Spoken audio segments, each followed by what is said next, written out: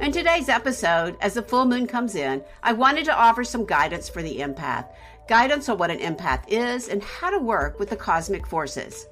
What does a full moon have to do with empathic energy? How does the extra intuitive light of the moon affect you?